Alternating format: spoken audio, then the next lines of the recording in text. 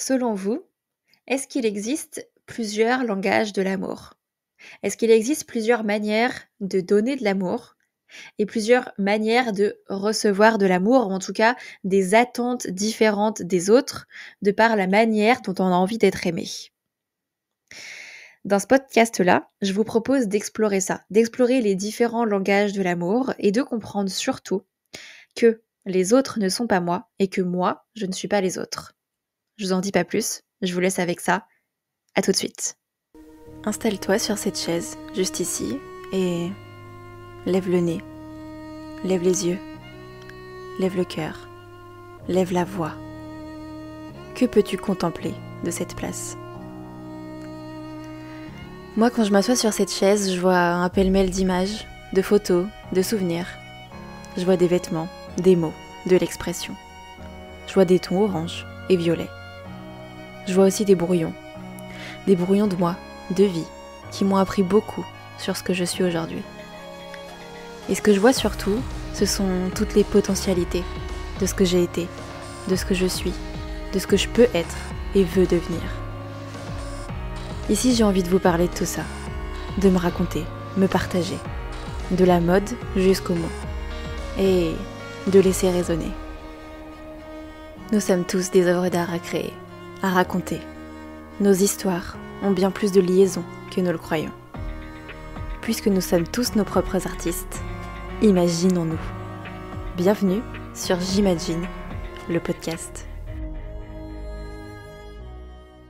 Bonjour à tous, comment allez-vous? Je suis ravie de vous retrouver en ce lundi matin, 1er juillet. Je sais pas vous, mais moi, je me dis, ah ouais, on est déjà le 1er juillet. Mhm.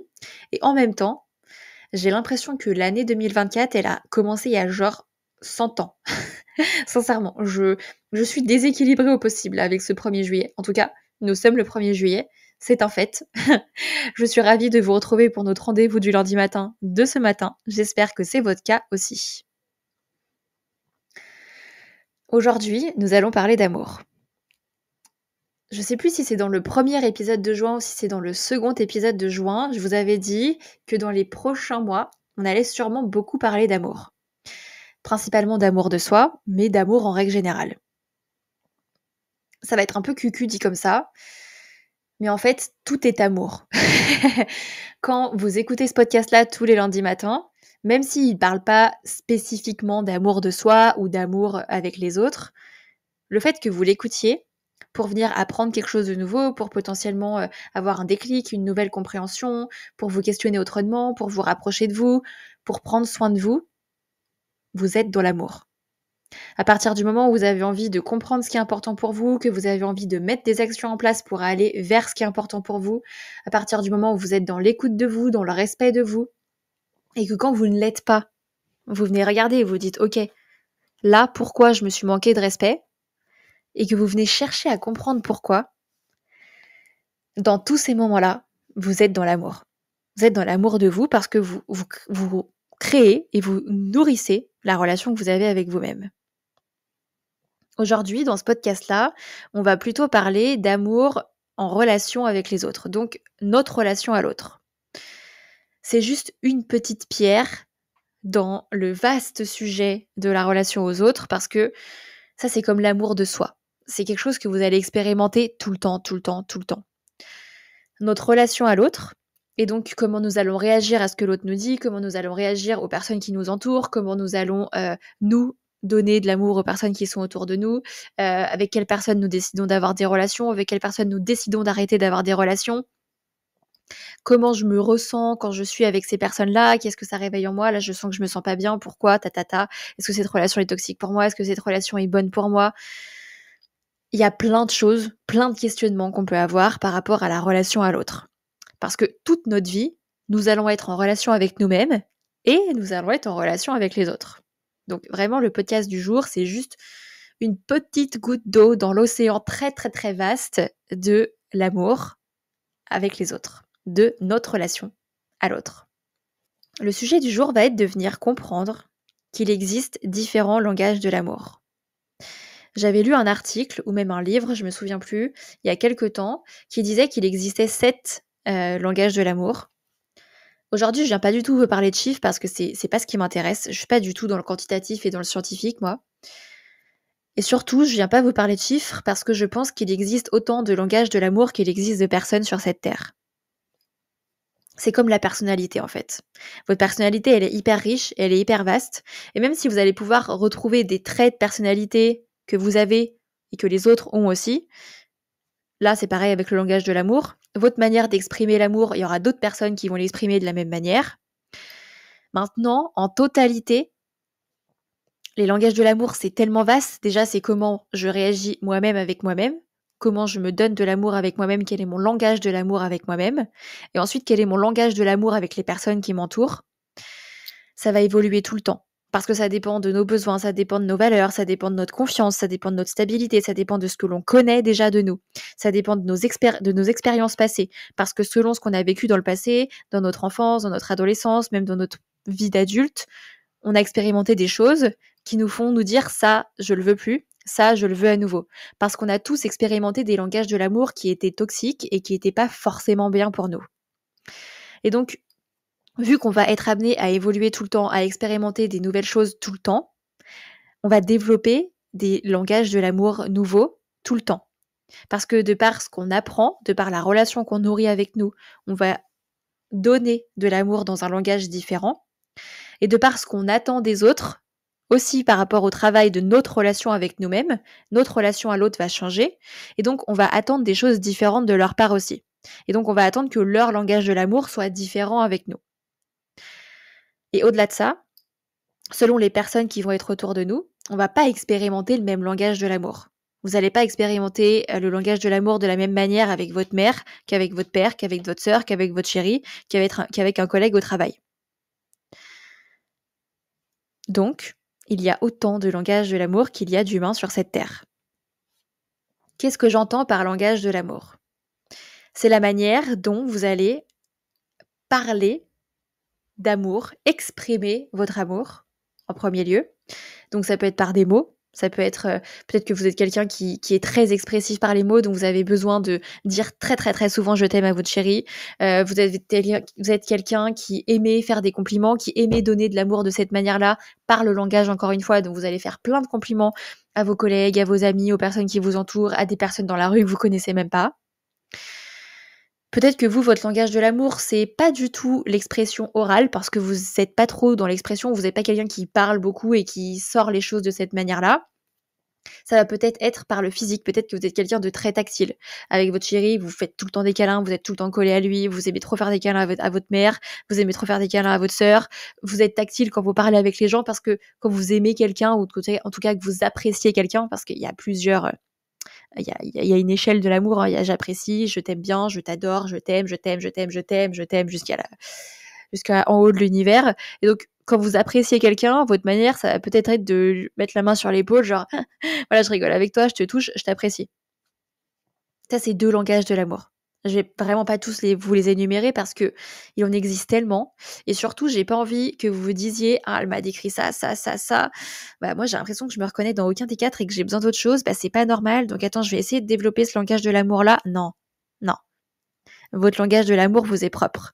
Donc, juste, ça va être à vous de venir comprendre comment vous aimez donner de l'amour. Parce que du coup, en premier lieu, il y a de moi envers les autres. Et ensuite, il y a le langage de l'amour des autres envers moi. De venir comprendre comment j'aime que les gens m'aiment. Souvent, on va se dire que c'est exactement de la même manière, moi, si j'aime euh, être dans l'expression, que j'aime euh, dire je t'aime plein de fois, ben, je vais avoir besoin que mon chéri le fasse aussi. Souvent, en règle générale, et c'est un peu l'idée de ce podcast, ça va être la deuxième partie, on va agir avec les autres comme on aimerait qu'ils agissent avec nous, et on espère qu'ils vont agir avec nous exactement comme on en a besoin et comme on agit avec eux. Donc très souvent, ce qu'on attend de l'autre, comment on veut qu'il nous donne de l'amour et la manière dont on a envie qu'il nous aime, bien, évidemment, ça va être différent selon les, relations, c'est la manière dont nous, on l'aime. Moi, je t'aime en te faisant plein de câlins. Si toi, t'es quelqu'un qui me fait pas beaucoup de câlins, dans ma tête, du coup, je vais avoir l'impression qu'en fait, ben, tu m'aimes pas. Peut-être que cette personne-là, elle va vous aimer en, en, vous, en vous appelant tous les jours pour savoir comment vous allez, en vous euh, disant euh, prends soin de vous quand vous êtes malade, en faisant attention à ce que, euh, je sais pas, vous soyez pas du mauvais côté de la rue quand on marche. Ça peut être plein de petites attentions comme ça. Vous n'allez pas savoir lire ce langage-là parce qu'en fait, ce n'est pas le vôtre. Et donc, vous ne le comprenez pas. Vous, vous serez rassuré et vous saurez que votre mec vous aime si il est tout le temps collé à vous et qu'il vous fait tout le temps des câlins. Manque de bol, ben, il n'est pas comme ça. Et c'est là que du coup, les langages de l'amour peuvent rentrer en conflit. Donc le premier exercice que je vous propose de faire avec vous-même, c'est de comprendre votre langage de l'amour. Comment vous exprimez votre amour envers vous-même et envers les autres, et donc comment vous avez besoin que les autres expriment leur amour envers vous. Ça, c'est le premier travail, le premier chemin, je dirais, pour encore une fois, en fait, se comprendre, comprendre comment je fonctionne. Voilà. Ça va permettre de pouvoir poser les bases. Et ensuite, la seconde partie du podcast, c'est très important. Une fois que vous aurez compris quel est votre langage de l'amour, quels sont vos langages de l'amour, parce qu'il en existe plein, vous en découvrez peut-être au fur et à mesure. Hein. Comme je disais, on évolue tout le temps. En tout cas, de base, comment vous êtes et comment vous avez besoin qu'on soit avec vous ça va vous permettre de pouvoir exprimer ce dont vous avez besoin. Prenons une relation de couple. Par exemple, votre chéri, il vous fait jamais de câlin. Vous vous dites qu'il vous aime pas. Donc ça va pouvoir vous faire perdre confiance en vous, ça va pouvoir vous faire douter, vous allez peut-être vous renfermer, vous allez peut-être être tout le temps sur son dos, il va même pas comprendre pourquoi. Et donc déjà de comprendre comment vous vous fonctionnez, ça va vous permettre de pouvoir ouvrir cette discussion. Et donc d'aller discuter avec l'autre et de lui dire écoute, euh, voilà, je comprends pas. Moi, je te fais souvent des câlins, toi, tu m'en fais pas souvent. C'est méga important pour moi, en fait. J'ai besoin de câlins parce que ben, je me sens rassurée, je me sens aimée, je me sens en sécurité, tout ça. Et donc, quand tu le fais pas, ben, du coup, j'ai l'impression que tu ne m'aimes pas, je me sens pas en sécurité, je me sens pas soutenue, machin. Très important d'aller lui exprimer pourquoi vous prenez mal qu'il n'ait pas le même langage de l'amour que vous et pourquoi vous avez besoin de ce langage de l'amour. Comment vous, vous fonctionnez et qu'est-ce que vous attendriez de cette personne. Parce que souvent, et ça c'est vachement plus féminin que masculin, il faut l'avouer, on va rien dire et on se dit qu'il va comprendre. Non. Il faut exprimer les choses. Si on ne dit pas, les autres ne peuvent pas savoir. Si c'est juste dans notre tête qu'on est en train de le vivre, et qu'on le fait glisser par des sous-entendus, parce que nous les meufs, on est méga fortes, on a un bac plus 25 euh, en sous-entendu, ça reste un sous-entendu. Il va pas comprendre. Il va pas comprendre, vraiment. Donc, il faut être clair.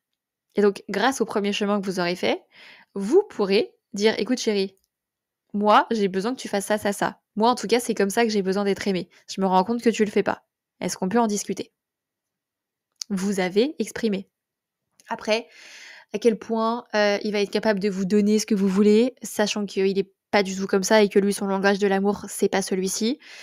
À quel point vous allez pouvoir trouver un compromis euh, pour que chacun se sente bien, ou à quel point peut-être ben, c'est pas la personne qui, est faite pour vous parce que ben, vraiment vous êtes trop, trop éloigné en termes de langage de l'amour. Ça, vous le verrez après. Mais lancez la discussion et exprimez ce qui est important pour vous. La deuxième chose qui est très importante dans ce podcast que je vais vous délivrer, la troisième, on en est à la troisième maintenant, bah faut savoir compter Morgane, troisième.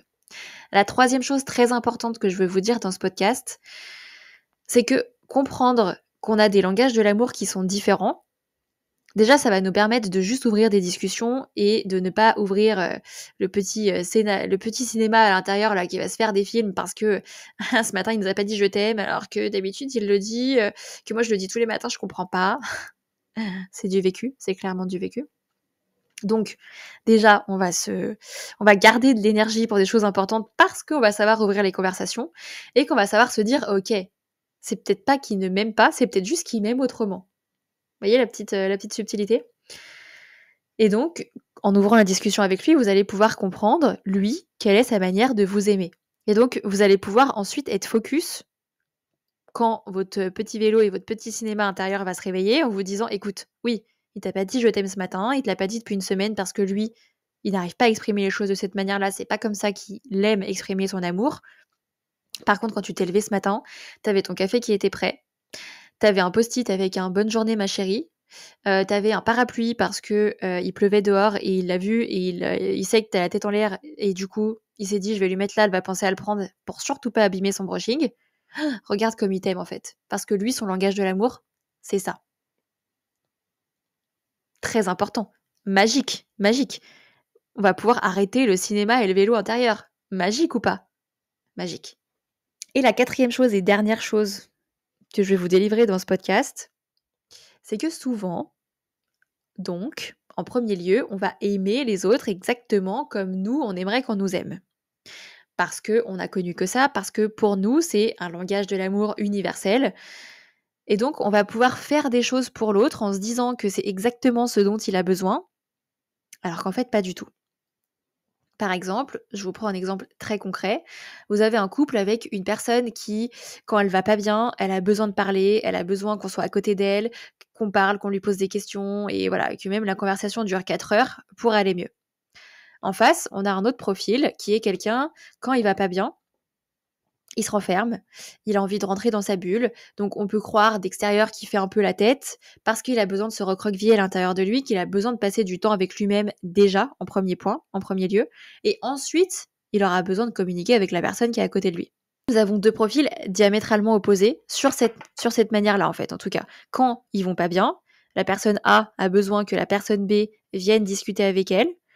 Quand la personne B va pas bien, elle aurait besoin que la personne A la laisse tranquille et lui laisse de l'espace. La personne A, quand elle va voir la personne B qui va pas bien, à votre avis, quelle va être sa manière de réagir? Elle va lui poser des questions. Elle va lui dire mais qu'est-ce qui se passe? Ah mais pourquoi tu vas pas bien? Ah mais je vois que ça va pas. L'autre personne, elle va faire quoi? Elle va dire non non non mais ça va, ça va. Non mais ça va, j'ai pas pas envie d'en parler, ça va. Et donc à force que la personne A pose des questions à la personne B, la personne B va encore plus avoir besoin de se retrouver dans son espace. Parce que la personne A, elle est en train de venir empiéter sur l'espace dont la personne B a besoin pour aller mieux et pour se soutenir dans la situation qu'elle est en train de vivre. La personne A, pourquoi elle fait ça?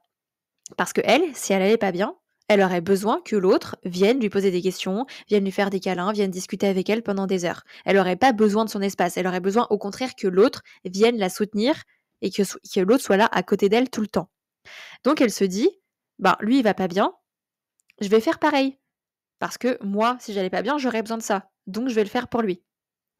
Et là, on se rend compte que c'est pas du tout, mais alors pas du tout ce dont a besoin l'autre personne. Et c'est même encore pire parce que forcément, quand vous avez besoin de votre espace, que vous auriez besoin de vous retrouver avec vous-même et qu'il y a quelqu'un qui vient tout le temps toquer à la porte, ça marche pas. Et au bout d'un moment, le risque, c'est quoi? C'est que la personne B, elle s'énerve et que ben, après, ça finisse même en conflit, en grosse engueulade, en colère, juste parce qu'elles n'auront pas communiqué. Donc, très important, les autres ne sont pas vous et vous n'êtes pas les autres. Donc, quand quelqu'un ne va pas bien, c'est grâce à ces échanges que vous aurez pu avoir ensemble sur OK, qu'est-ce qui est important pour moi? Quand je vais pas bien, quand je vais bien, euh, quand j'ai juste besoin d'amour, en règle générale. Donc moi, j'exprime. Donc comme ça, l'autre personne, elle sait que le jour où je vais pas bien, ben, elle agira en me faisant des câlins, en venant parler avec moi, en étant proche de moi, même si c'est pas ce que elle, elle aimerait, elle sait que c'est ce que moi j'aime et ce dont moi j'ai besoin. Et le fait que l'autre nous ait exprimé ce dont elle avait besoin, quand cette personne ne va pas aller bien, même si on aurait envie de foncer tête baissée, de venir lui poser plein de questions, non, je sais que c'est pas ce dont elle a besoin. Je prends sur moi, même si c'est compliqué, je me détache de la situation pour le moment, je lui laisse son espace, je sais qu'il reviendra plus tard. Voilà pourquoi c'est vraiment important de comprendre ce qui est important pour vous, de comprendre votre langage de l'amour, de l'exprimer et de venir chercher à comprendre quel est le langage de l'amour de la personne qui est en face de vous.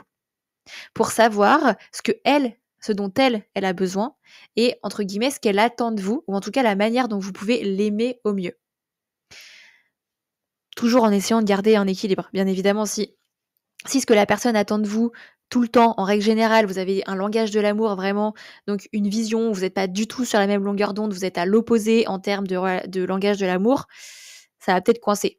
Maintenant, vous êtes peut-être aligné en règle générale sur le fond, vous êtes sur la même longueur d'onde en termes de langage de l'amour. Par contre, sur certaines situations comme ça, quand vous allez bien, quand vous n'allez pas bien, vous n'avez pas les mêmes besoins et les mêmes attentes envers l'autre. Et donc, exprimez ce que vous vous ressentez, invitez l'autre et venez questionner l'autre pour qu'il vous dise ce que lui a besoin aussi. Et comme ça, vous allez pouvoir avancer dans un équilibre, comprendre le langage de l'amour de l'autre, permettre à l'autre de comprendre votre langage de l'amour et éviter des petites situations comme ça où après on peut rentrer dans du conflit et où on peut euh, faire marcher le cinéma intérieur et se bousiller de l'énergie pour rien. Voilà. On exprime et on invite l'autre à s'exprimer aussi. J'espère que ce podcast vous apportera plein, plein, plein, plein de clés. Je vous fais des gros bisous et je vous dis à la semaine prochaine.